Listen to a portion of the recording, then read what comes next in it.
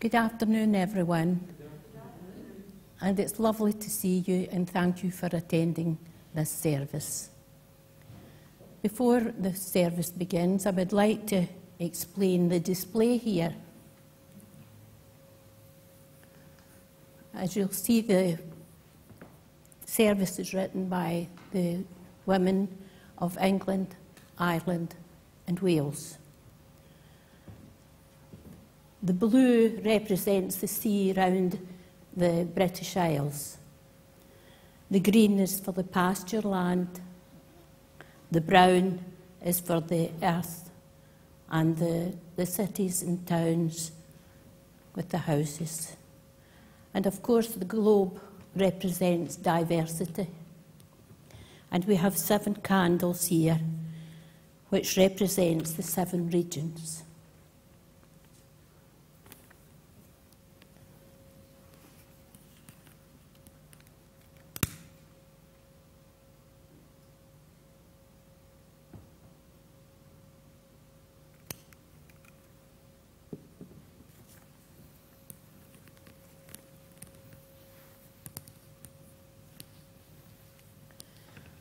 Welcome to our World Day of Prayer, celebrated today all over the world in seven regions.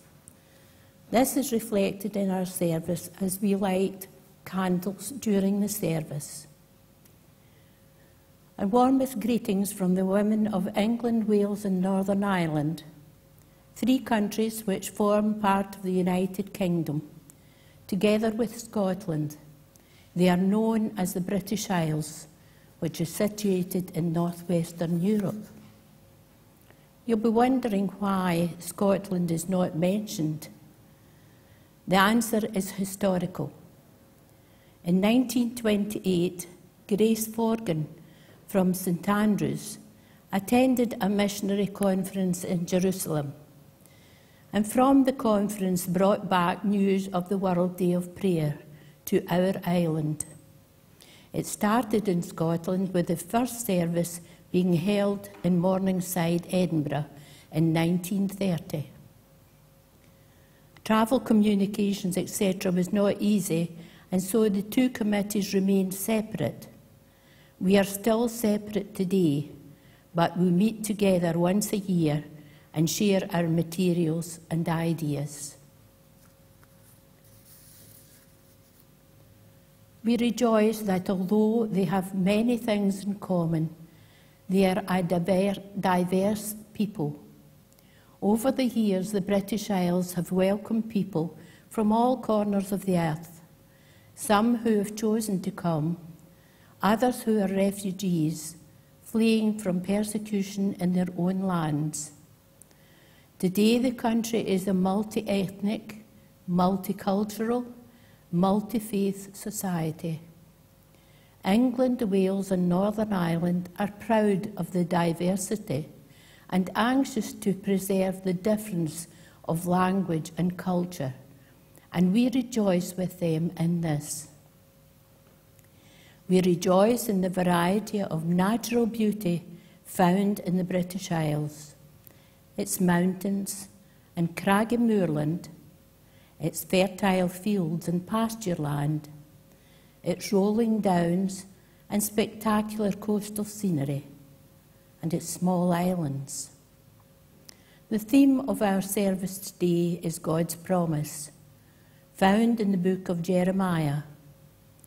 I know the plans I have for you, focusing on freedom, forgiveness, justice, and God's peace.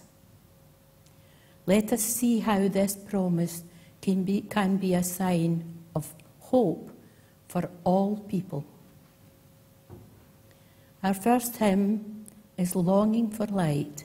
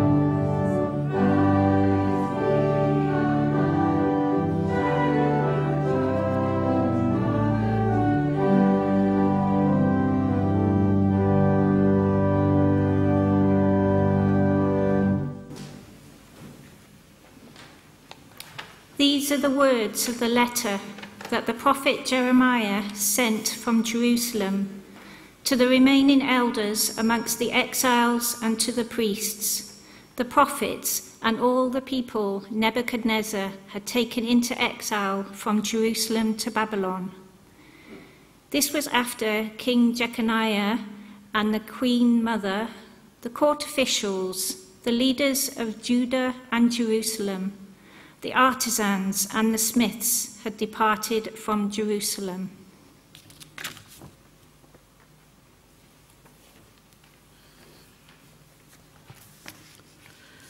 Thus says the Lord of hosts, the God of Israel, to all the exiles whom I have sent to exile from Jerusalem and Babylon. Build houses and live in them, plant gardens and eat what they produce, take wives and have sons and daughters. Sorry, take wives for your sons and give your daughters in marriage, that they may have sons and daughters Multiply there and do not decrease, but seek the welfare of the city where I have sent you into exile, and pray to the Lord on its behalf, for in its welfare you will find your welfare. For thus says the Lord of the hosts, the God of Israel Do not let the prophets and the diviners who are among you deceive you, and do not listen to dreams that they dream for it is lies that they are prophesying to you in my name. I have not sent them, says the Lord.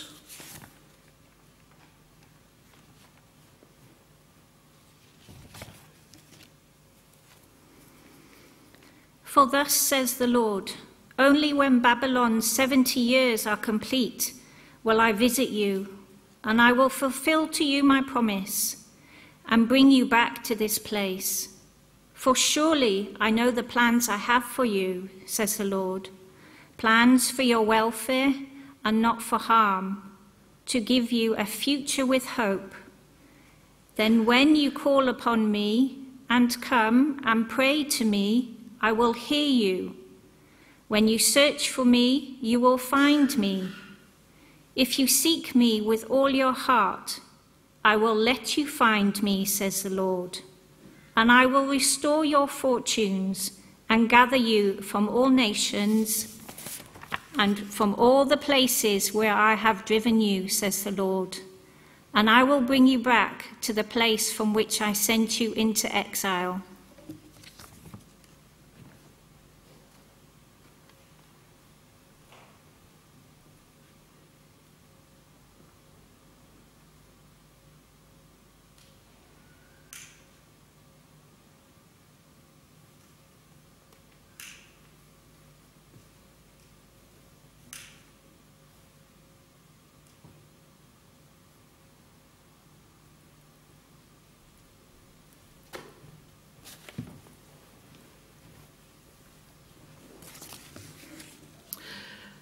The people of Jeremiah's time found themselves in a place where they did not want to be, away from their homeland and excluded from their culture, worship, and homes.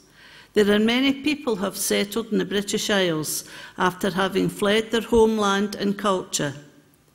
In the land of prosperity, there are those who are poor, and in the midst of crowded cities, many are lonely. How can we tell all their stories? We cannot. But we can hear their voices telling us to listen to what it means to feel excluded in England, Wales, and Northern Ireland.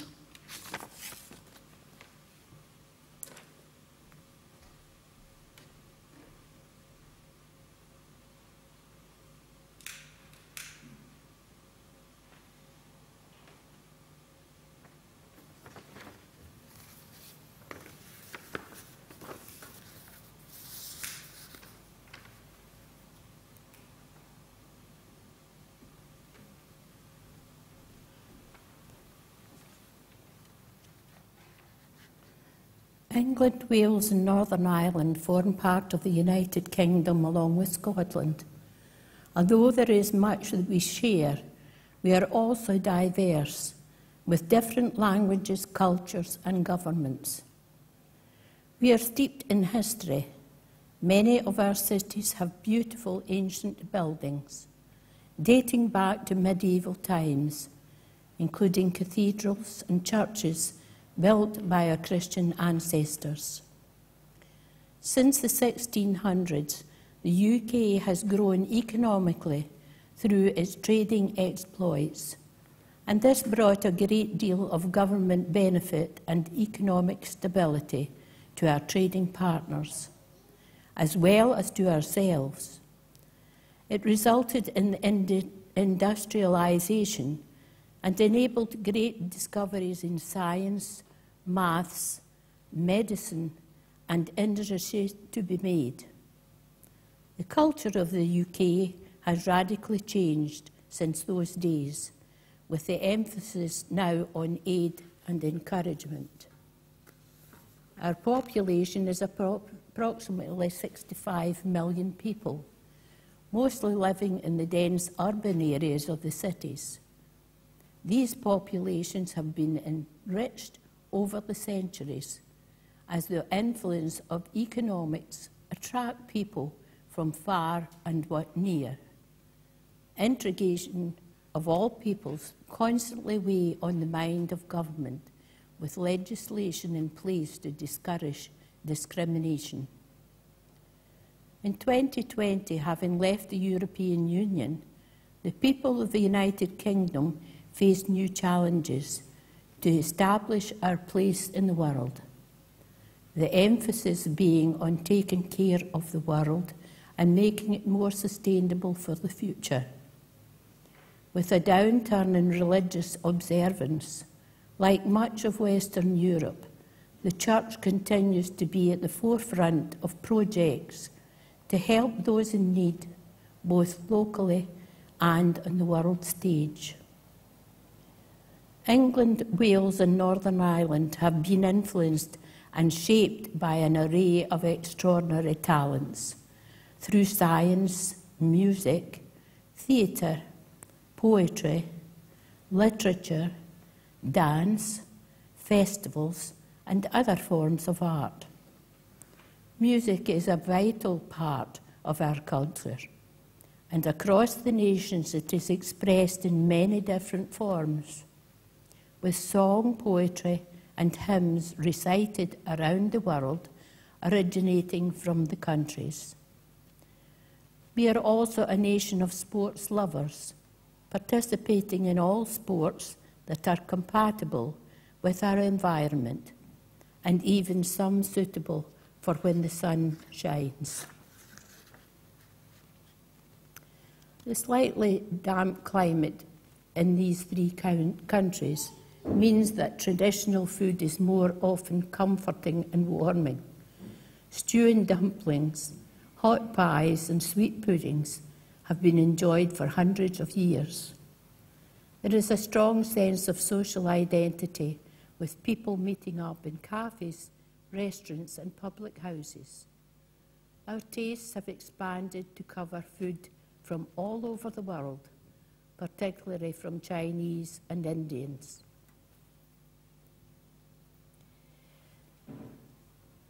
As a single World Day of Prayer organisation, the three voices of England, Wales and Northern Ireland have come together to present this year's service, recognising our differences, but also our common ground.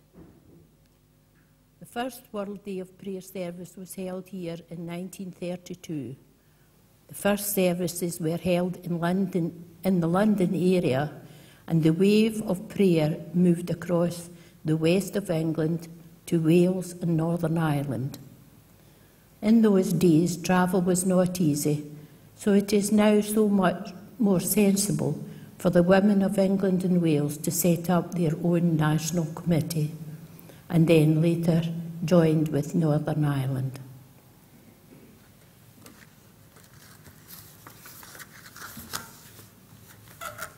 Let us now pray the Lord's Prayer.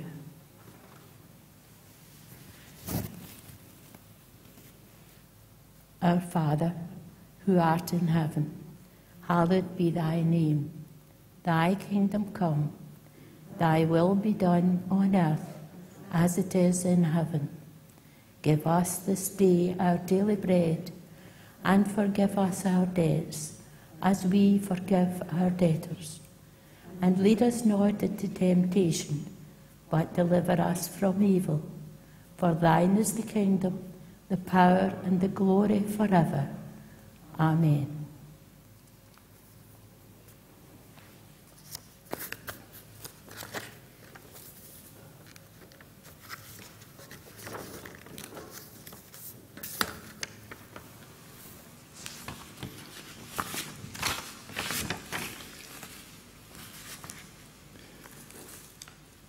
As we reflect upon God's promise to the people of Judah, consider the promise of God. For surely I know the plans I have for you, says the Lord plans for your welfare and not for harm, to give you a future with hope. Then, when you call upon me and come and pray to me, I will hear you. I have here a packet of seeds a seed is full of potential and hope.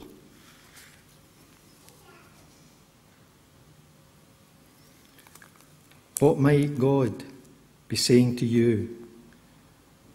What hope does God have for you and your future? We pray for what is in our hearts.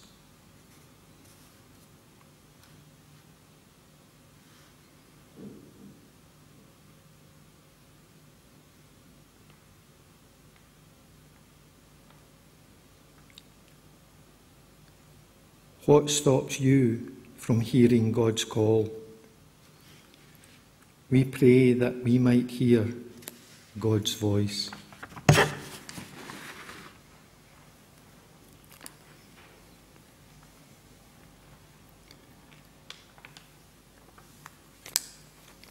Seeds need the right conditions to grow. Where do seeds of hope need planting in your life? Where do seeds of hope need planting in your community? Where do seeds of hope need planting in your country?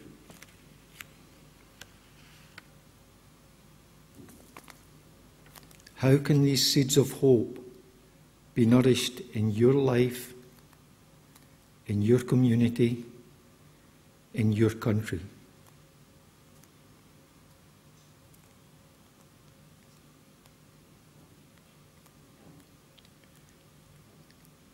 Take these thoughts and plant them like seeds as a reminder of God's constant love and your hopes.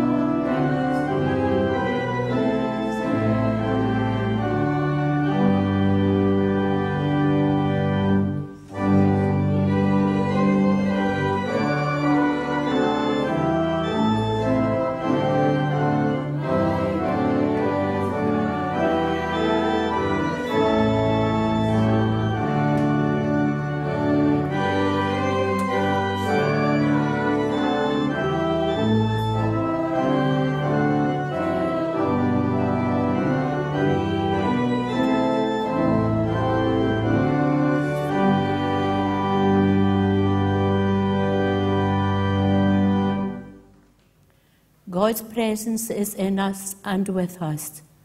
Let God guide you, lead you, restore you, and heal you. Go with these blessings in the wonderful name of Jesus Christ, who is the way, the truth, and the life. Amen.